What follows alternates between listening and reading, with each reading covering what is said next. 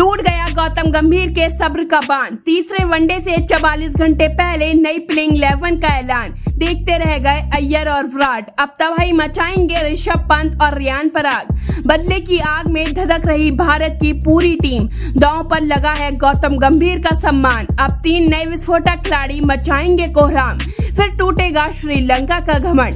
रोहित शर्मा ने अकेले ही मचाया था कोहराम। लेकिन तीन खिलाड़ियों की गलती की वजह से सब कुछ हो गया बर्बाद। अब इन खिलाड़ियों को रोहित कभी नहीं देंगे मौका। ड्रेसिंग रूम में मुँह छुपाकर बैठ जाओ। बल्लेबाजी तुमसे नहीं हो पाएगी। के राहुल तुमको मौका नहीं मिल पाएगा। शर्म से डूब मरो श्रेष अय्यर और दुबे। तुमसे भी नहीं हो पाएगा। रिंकू जैसे तोप को बाहर बिठाया गया। रियान पराग को नहीं खिलाया गया। जिनको मौका मिला, उन्होंने टीम की नैया डुबाने में कोई कसर नहीं छोड़ी। जी हाँ दोस्तों, तीसरे वनडे महामुकाबले के लिए बीसीसीआई और रोहित शर्मा ने श्रीलंका के खिलाफ भारतीय टीम में दो से तीन महत्वपूर्ण बदलाव करते हुए सभी को चौंका दिया है। जी हाँ दोस्तों, कप्तान रोहित शर्मा ने तीसरे वनडे मुकाबले के लिए भारतीय टीम में ऐसे ऐसे दो से तीन भूखे शेरों की एंट्री करवा दी है, जिसे देखकर श्रीलंका की टीम के पसीने छूटने लगे हैं। जिन खिलाड़ियों ने टी में श्रीलंका की धज्जियाँ उड़ाई थी,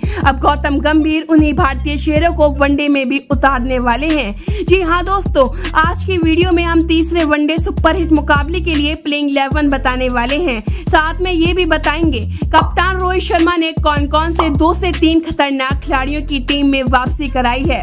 उससे पहले अगर आप भी रोहित शर्मा को बेहतरीन कप्तान मानते हैं तो वीडियो को लाइक एंड चैनल को सब्सक्राइब ज़रूर कीजिएगा, क्योंकि क्रिकेट से रिलेटेड अपडेट सबसे पहले इसी चैनल पर ही दी जाती है। साथ में ये भी बताएँगे, तीसरा वनडे कब खेला जाएगा? और कितने बजे खेला जाएगा। तो दोस्तों, सबसे पहले आपको बता दें, तीन वनडे मैचों की सीरीज़ का तीसरा वनडे सात अगस्त को खेला जाएगा। और तीसरा वनडे भी श्रीलंका के आर प्रेमदासा स्टेडियम में होगा। और ये मुकाबला भारतीय समय अनुसार दोपहर के दो बजकर तीस मिनट पर शुरू होगा। तो दोस्तों, इन्हीं सभी को ध्यान में रखते हुए कप्तान रोहित शर्मा ने भारतीय टीम में चार चौंकाने वाले बदलाव करते हुए भारतीय टीम घोषित की है। अब बात करें श्रीलंका को बुरी तरह से कुचलने के लिए भारतीय कप्तान रोहित शर्मा ने किन किन भूखे शेरों को टीम में शामिल किया है? सबसे पहले ओपनिंग जोड़ी की बात करें तो ओपनिंग बल्लेबाजी के तौर पर खतरनाक बल्लेबाज रोहित शर्मा के साथ शुभमन गिल टीम इंडिया की तरफ़ से पारी की शुरुआत करने के लिए मैदान पर आने वाले हैं। पिछले मैच में भी कप्तान रोहित शर्मा ने अपने विस्फोटक बल्लेबाजी से तहलका मचा दिया था। जब तक वो थे, ऐसा लगा कि टीम इंडिया आसानी से ये मैच जीत जाएगी। लेकिन जैसे ही वो आउट हुए। भारत की पारी ताश के पत्तों की तरह बिखर गई। इससे अंदाज़ा हो जाता है कि रोहित शर्मा टीम इंडिया की जीत में कितना बड़ा रोल निभाने वाले हैं। वही नंबर दो पर हमें युवा बल्लेबाज शुभमन गिल खेलते हुए नज़र आएँगे। आपको बता दें, शुभमन गिल ने बीते टी सीरीज़ में काफ़ी अच्छा प्रदर्शन का नज़ारा पेश किया था। लेकिन पहले वनडे और दूसरे वनडे में उनका प्रदर्शन काबिल तारीफ़ नहीं था, जिसमें गौतम गंभीर और रोहित शर्मा दोनों नाराज़ नज़र आए थे। लेकिन वो टीम के उप कप्तान भी हैं।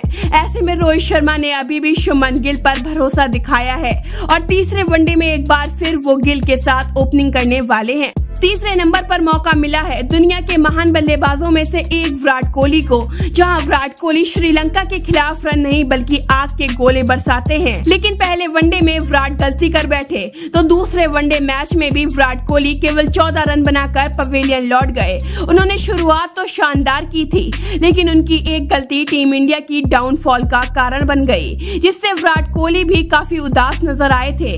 ऐसे में अब तीसरे वनडे में जब रोहित शर्मा ने अपने सबसे बड़े हथियार पर दोबारा भरोसा जताया। ऐसे में दोस्तों, विराट कोहली चाहेंगे कि तीसरे मुकाबले में वो फिर से शतक जड़कर क्रिकेट फैंस को काफ़ी उत्साहित करें।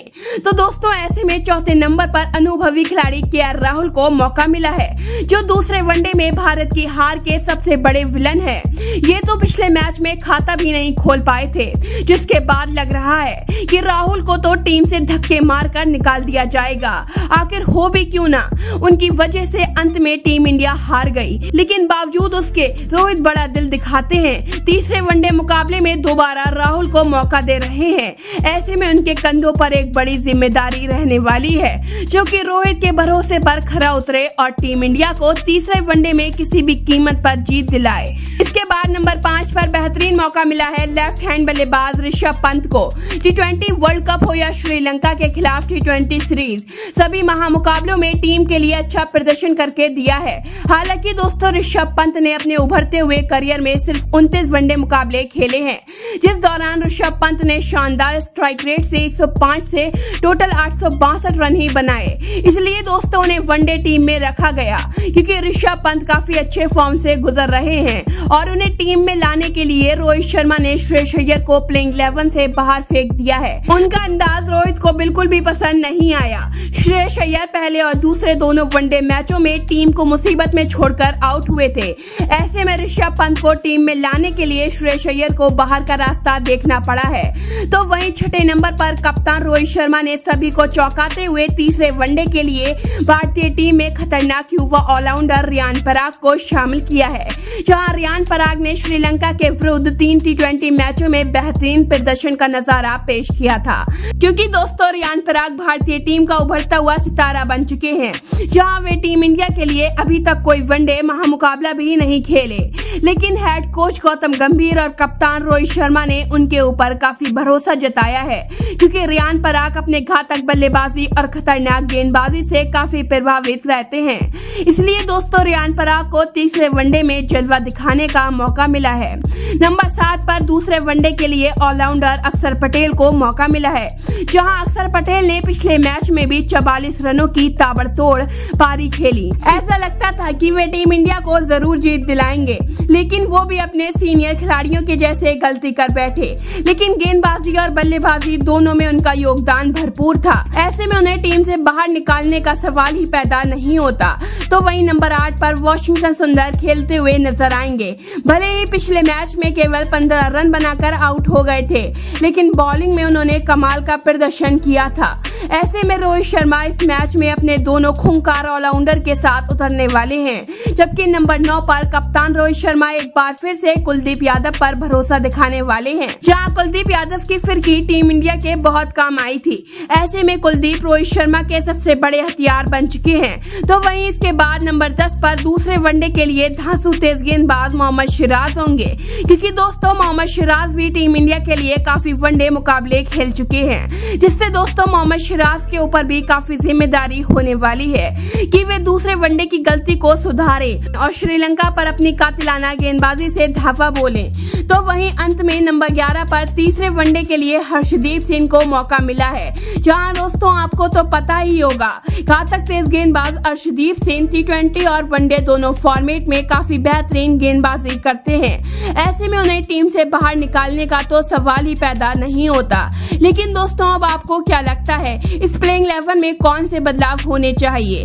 कैसे लगी आपको ये वनडे की खतरनाक प्लेइंग इलेवन क्या टीम इंडिया ये तीसरा वनडे मुकाबला जीत पाएगी? अपनी राय नीचे कॉमेंट बॉक्स में ज़रूर बताएँ।